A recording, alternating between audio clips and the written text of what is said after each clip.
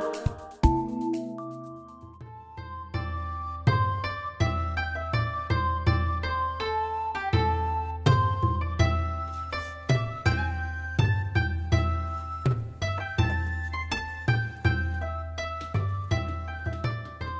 Det startede med, at jeg skulle lave en udstilling sammen med, med to gode venner, som handlede om øh, at bruge puder på en helt ny måde.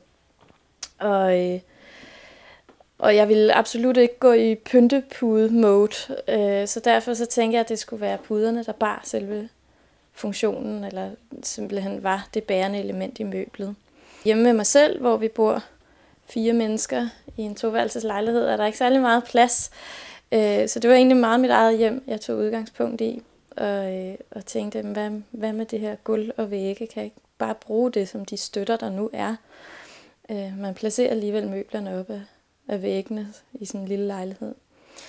Øhm, og så begyndte jeg at lege lidt med, og, ja, hvordan jeg kunne bruge væggen og, og gulvet til det her. Og, øh, og prøvede egentlig at skære det meget sådan ind til benet. Øh, hvad, hvad er det, jeg skal? Jeg, jeg skal have noget, der er lige blødt nok til, at man kan sidde, og så skal jeg have noget, man lige kan læne sig op af.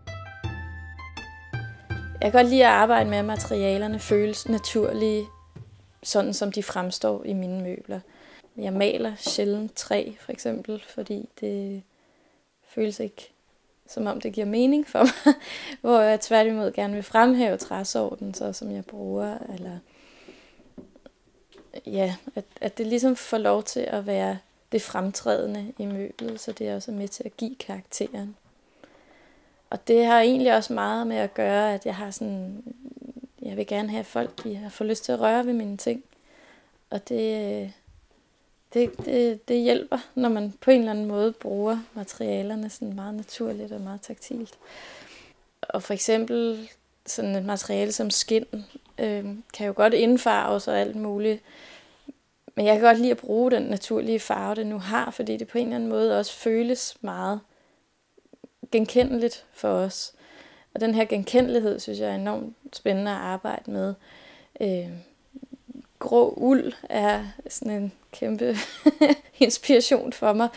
Øh, både nuancer og overflader og, og hvordan man kan forarbejde ulden, synes jeg er enormt spændende at arbejde med.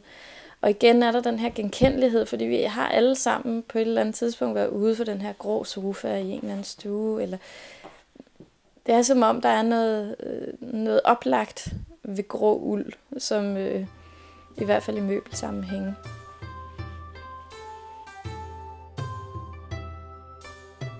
En af de ting, jeg, synes, jeg også arbejder rigtig meget med i det hele taget, er at komme ned i gulvhøjde. Øhm, det er sådan lidt et personligt korstog for mig at få folk ned i gulvhøjde, for hvis bare man gør det hver dag, så får man rørt hele kroppen på en meget øh, hensigtsmæssig måde.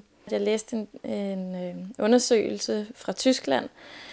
Øhm, man, han havde sammenlignet en hel masse øh, etniske tyskere, eller i hvert fald ikke muslimsk troende tyskere, med en hel masse ortodoxe øh, muslimer. Og det man fandt frem til, det var, at de her troende muslimer, der bad fem gange om dagen, de havde langt færre rygskader eller rygproblemer end dem, der ikke lavede den her bevægelse hver dag.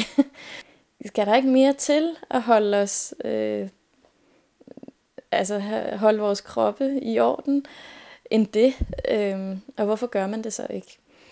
Og det var så derfra, jeg i virkeligheden gik videre med at, at tænke, hvordan, hvordan kan jeg arbejde med det her i mine møbler?